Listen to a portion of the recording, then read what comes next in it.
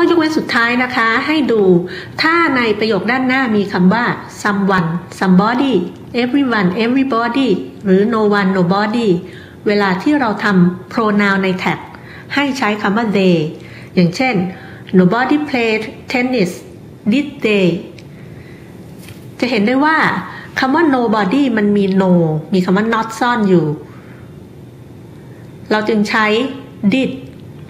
ไม่ต้องเป็น did นึ่งนะคะ และ pronoun ในที่นี้กฎข้อนี้บอกว่า pronoun ต้องใช้ they เพราะฉะนั้น tag จึงเป็น did they อีกตัวอย่างหนึ่ง everybody is here aren't they ในที่นี้ everybody ถึงประโยคน่าจะใช้ is แต่เนื่องจากในแท็กเราใช้ pronoun เป็น they เพราะฉะนั้นกริยาที่คู่กับ they ก็จะต้องเป็น are ทำเป็นรูปปฏิเสธ แบบย่อก็เป็น aren't they